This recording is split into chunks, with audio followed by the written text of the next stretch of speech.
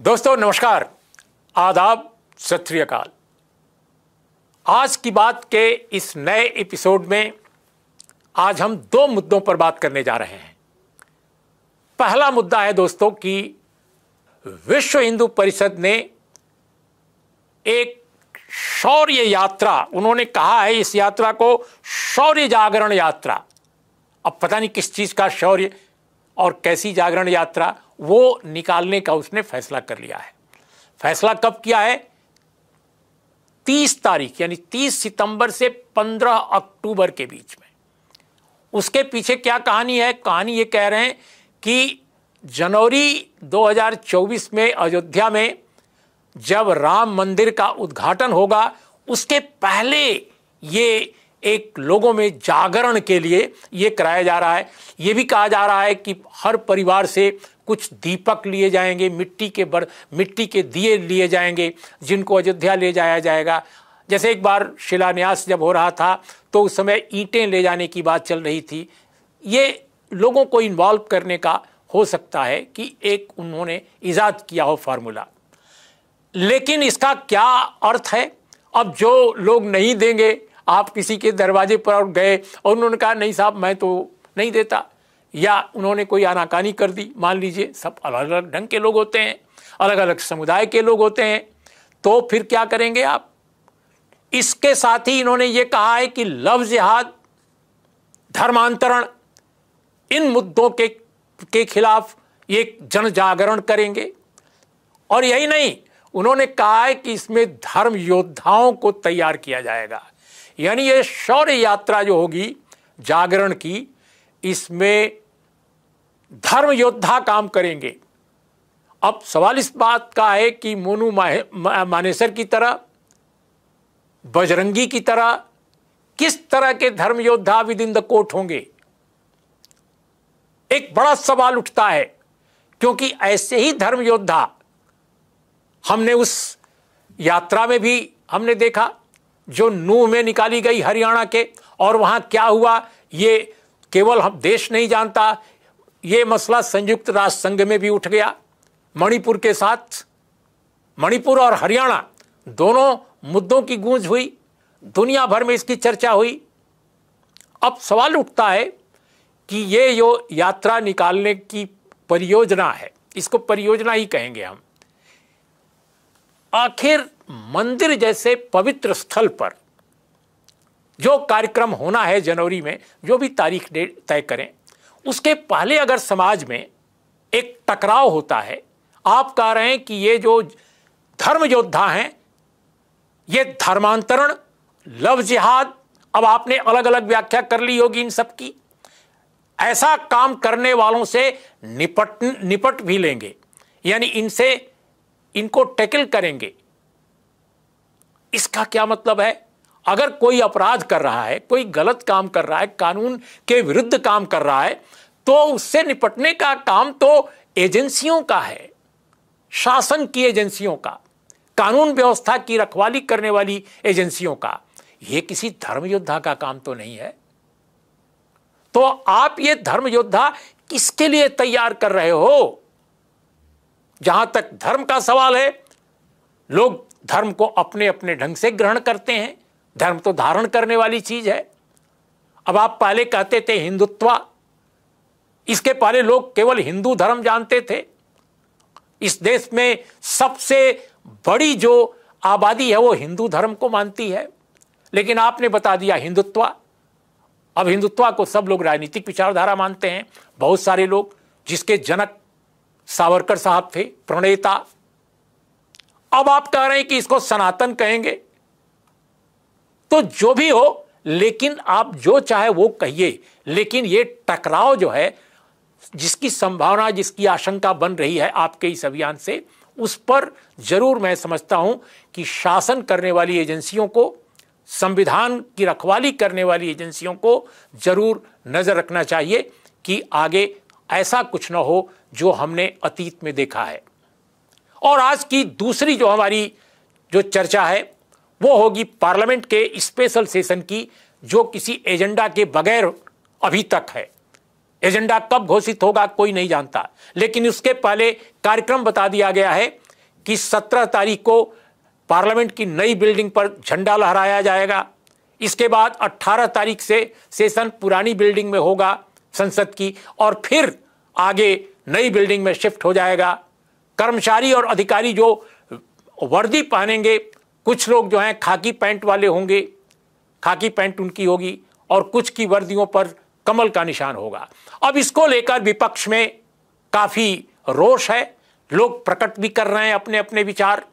तो इन दो मुद्दों पर एक तो विश्व हिंदू परिषद की जो जागरण यात्रा प्रस्तावित है, शौर्य जागरण यात्रा उस पर, और पार्लियामेंट के स्पेशल सेशन पर जो कुछ सवाल उठ रहे हैं, उस पर हमने एक देश के जाने माने वरिष्ठ पत्रकार, हिंदुस्तान टाइम्स से संबद्ध विनोद शर्मा से को आमंत्रित किया है आज बातचीत के लिए। क्या है आज की बात? मेरी बात, आपकी बात, हर किसी की बात। देश, दुनिया, गाँव, देहात, सत्ता, समाज, संस्कृति।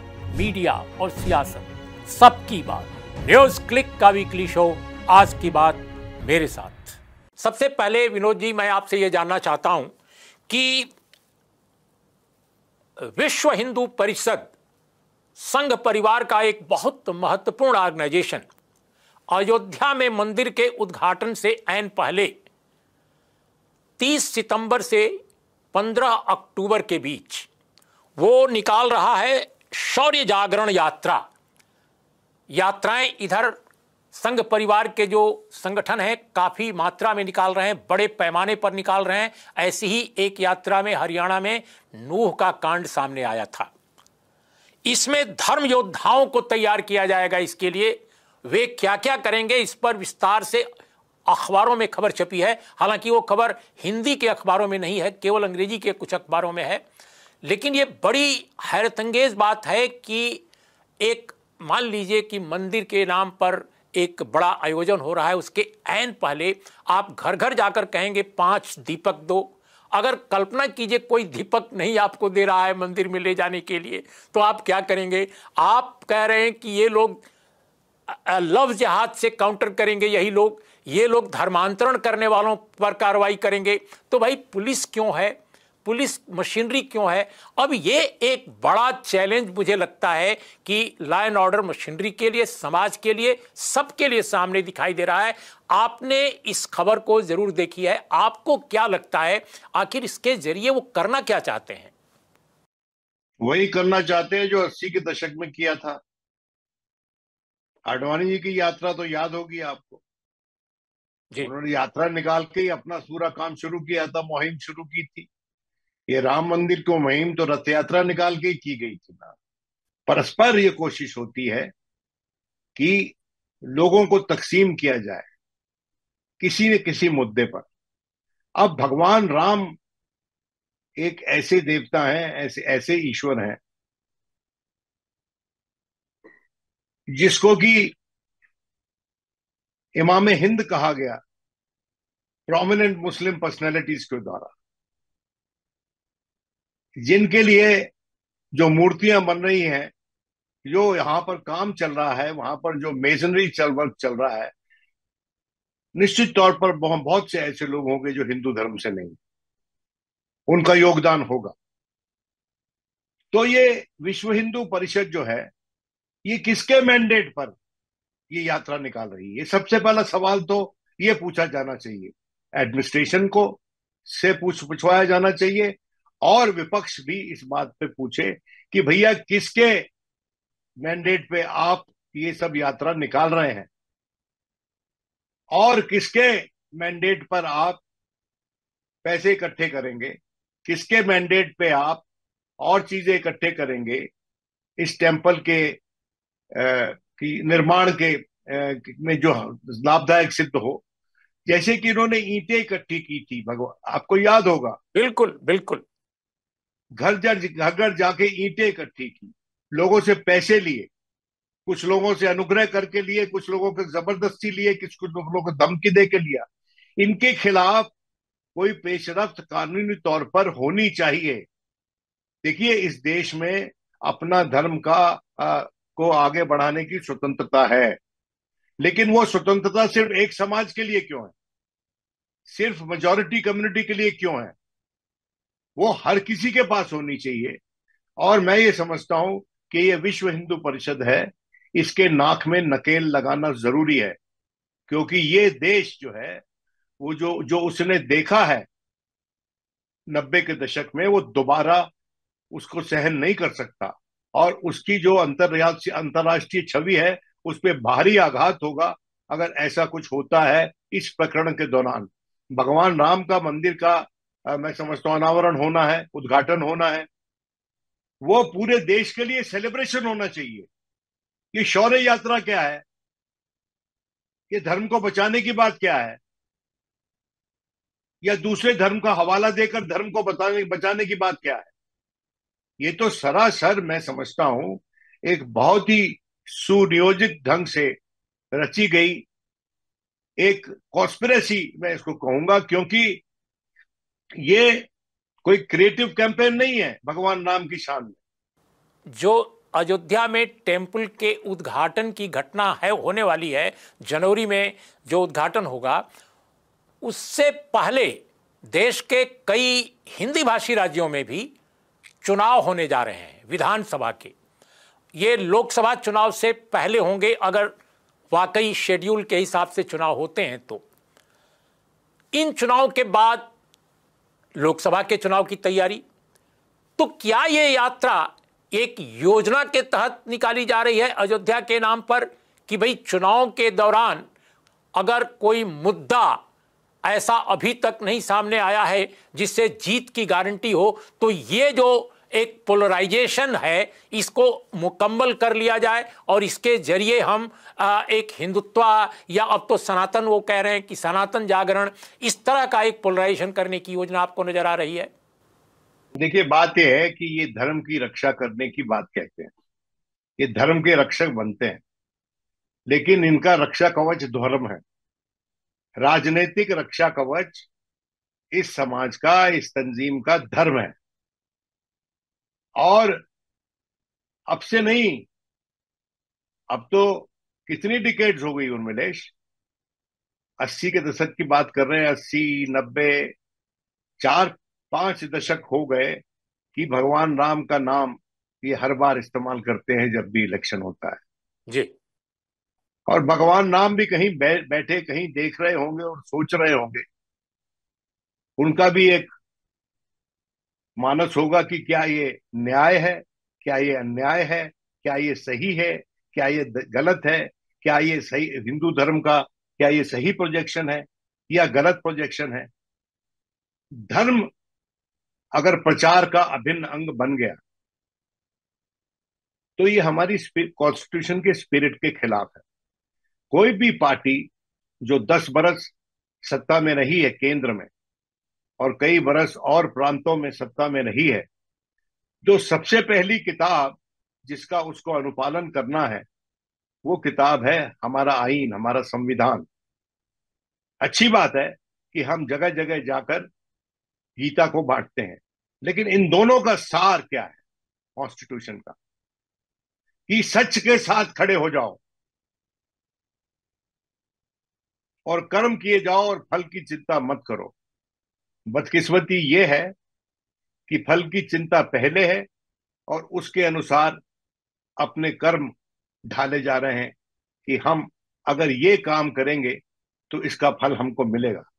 तो मैं समझता हूँ ये हिंदू धर्म का सही प्रोजेक्शन नहीं है, उसका सही इंटरप्रिटेशन नहीं है। हम और आप भी उसी धर्म से आते हैं, आस्तीन पे बाँध कर नहीं चलते हैं उस धर्म को, दिल में रख के चलते हैं, जो आस्था है हमारी उसको। अभी जी ट्वेंटी में हमने देखा कि माननीय प्रधानमंत्री, उन्होंने एक स्लोगन काफ़ी शिद्दत के साथ सामने लाया पूरी दुनिया के लिए। उन्होंने कहा, एक दुनिया, एक परिवार, एक भविष्य। तो अब सवाल इस बात का है कि इस मुल्क में जहाँ वो पूरी दुनिया के लिए स्लोगन देकर दुनिया के बड़े नेता के तौर पे अपने को पेश कर रहे हैं, वो अपने ही मुल्क में जब वो सरकार के मुखिया हैं अपने ही उनके संगठन के लोग या संगठन के अनुसंगिक संगठन के लोग ये बात कर रहे हैं, विभाजन की बात कर रहे हैं, डिवीज़न की बात कर रहे हैं समाज में तो उनकी तरफ़ से भी कुछ नहीं सामने आया है। ग्यारह तारीख की एक का ये फैसला है। अभी तक सरकार की तरफ़ से कोई कमेंट नहीं दिखा और शायद अगर मैं गलत न साबित हो जाऊँ और मैं चाहूँगा कि गलत साबित हो जाऊँ तो शायद सरकार की तरफ़ से कोई इंटरवेंशन नहीं दिखेगा। तो कैसे इसको देखते हैं? देखो अभी हाल ही में एक मुख्यमंत्री हैं जो कि अपने आप को उनका सेल्फ इमेज जो है वो बहुत ऊँचा है। और उन्होंने कहा कि बजरंग दल का आरएसएस और बीजेपी से कुछ लेना देना नहीं है। ये असम की बात बता रहा हूँ आपको। जी हेमंत विश्वा शर्मा जी जी। और कल को ये भी हो सकता है कि कहेंगे कि विश्व हिंदू परिषद जो है वो अपना प्रोग्राम खुद बनाता है। ये जो संघ परिवार है ये हाइड्रा हेडेड है। इसके कई सर हैं। और जब भी कोई अपॉर्चुनिटी मिलती है तो वो अलग हो जाते हैं इंडिपेंडेंट हो जाते हैं। और जब भी अपॉर्चुनिटी या गुंजाइश होती है या ज़रूरत होती है तो एक, वो एक साथ काम करते हैं। ये लोगों की आँख में धूल झोंकने वाली बात। सब जानते हैं कि उनकी इंस्पिरेशन कहाँ से आ रही है। सब जानते हैं कि उनकी आइडिएटिंग कौन कर रहा है। सब जानते हैं कि उनका टाइमिंग ऐसा क्यों है। मेरा ये मानना है कि इस देश में इंस्टीट्यूशनल डेमोक्रेसी का बहाल होना बहुत ज़रूरी है। जब तक हमारे देश में इंस्टीट्यूशनल डेमोक्रेसी बहाल नहीं होगी तो दो इलेक्शन के मध्य में हमारी जो पॉपुलर डेमोक्रेसी है वो डाइल्यूट होती रहेगी। दो इलेक्शन के मध्य में और मिले जी लोकतंत्र को पुख्ता कौन रखते हैं? इंस्टीट्यूशन रखते हैं। और जब पाँच वर्ष पूरे हो जाते हैं तो फिर जनता कमान अपने हाथ में ले लेती है। और फिर जिसको सबक सिखाना हो, होता है उसको सबक सिखाती है। और जिसकी पीठ पे थापना थाप थपथपी देनी होती है वो करती है। बड़ी माजरत से मैं कहना चाहता हूँ। इलेक्शन कमीशन के मेंबर्स जो हैं, वो ऑर्डर ऑफ़ प्रेसिडेंस में सुप्रीम कोर्ट के जजेस के बराबर है। और हाल ही में एक जो निर्णय लिया गया कि जो उनकी सिलेक्शन पैनल है, उसमें से चीफ जस्टिस को निकाल दिया गया और उनकी जगह कोई ऐसा मनोनीत व्यक्ति होगा जो कि सरकार के कहने पे, उनके इशारे पे काम करेगा। अगर इस इलेक्शन प्रोसेस का बावजूद इसके कि सुप्रीम कोर्ट ने दूसरी कोई एडवाइस दी थी।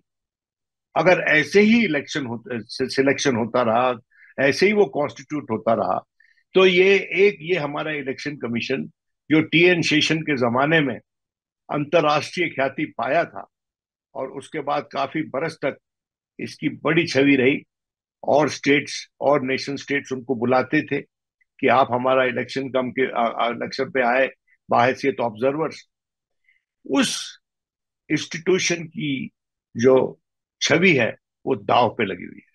उसकी क्रेडिबिलिटी दाव पे लगी हुई है। एक दूसरे पहलू पाप का ध्यान आकृष्ट करना चाहता हूँ, और वो है भारत की संसद का एक स्पेशल सेशन बुलाया गया है 18 तारीख से 22 तारीख के बीच में। लेकिन ये पहला पार्लियामेंट सेशन स्पेशल सेशन देख रहा हूँ जिसमें अभी तक किसी को मालूम नहीं है कि इसका मकसद क्या है, इसका एजेंडा क्या है।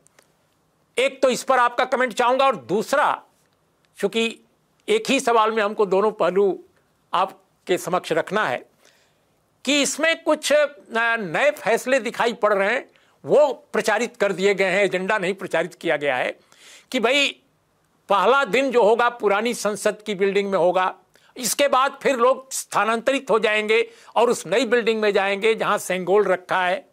और नई बिल्डिंग में उसके पहले सत्रह तारीख को झंडा तोलन होगा। इसके अलावा यह भी बताया गया है कि सचिवालय के कर्मियों की, कर्मचारियों की, पदाधिकारियों की जो वर्दी है वो चेंज हो जाएगी। अब उसमें नए बिल्डिंग में जो बैठेंगे या काम करेंगे अधिकारी, कर्मचारी वो खाकी वर्दी में रहें, खाकी उनकी पैंट होगी और उनकी जो ऊपर की पोशाक है या कुछ कर्मचारियों की नीचे की भी संभवतः आई डोंट नो डिटेल सारा नहीं आया है कि उस पर कमल के निशान होंगे। तो इसको लेकर विपक्ष ने काफ़ी तल्ख टिप्पणी की है ऑब्जेक्शन उठाया है। एक जर्नलिस्ट के रूप में जिसने वर्षों पार्लियामेंट कवर किया है how do you think and how do you see this ये जो हो रहा है आज के दिन स्पेशल सेशन के संदर्भ कि एजेंडा अभी तक प्रत्यक्ष नहीं है। और ये जो वर्दियाँ बदली गई हैं और उस पर कमल का फूल होगा, कमल का फूल तो जी ट्वेंटी समिट में भी था और इस एक्सक्यूज पे था कि ये हमारा नेशनल फ्लावर है। तो अगर इंडिया कोई अलायंस अपना नाम रख लेता है तो उस पर तो आप बहुत विचलित हो जाते हैं। लेकिन आपका चुनाव चिन्ह अगर नेशनल फ्लावर पर है तो ठीक ठाक है, वो ठीक है फिर। देखिए मेरी बात सुनिए you can't run with the hare and hunt with the you can't eat the cake and have it too अंग्रेज़ी में जो बोलते हैं।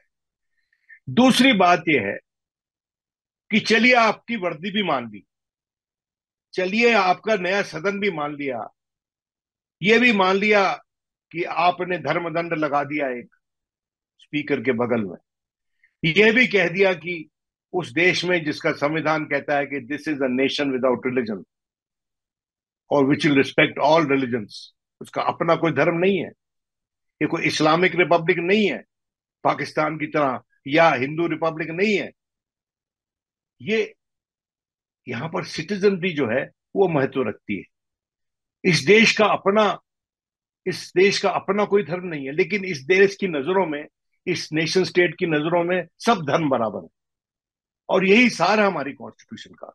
तो मेरा ये मानना है कि ये जो अपवाद हो रहे हैं, ये एमिनेंटली अवॉइडेबल है, लेकिन इसलिए किए जा रहे हैं कि एक जो पॉलिटिकल जो कुछ एलिमेंट्स हैं हमारे देश में, कुछ लोग ऐसे हैं हमारे देश में राजनीतिक, हमारी पॉलिटिकल इस्टेब्लिशमेंट में, जो आतुर है इस बात के लिए कि इतिहास के हर पन्ने पर हमारा स्टैंप लग जाए।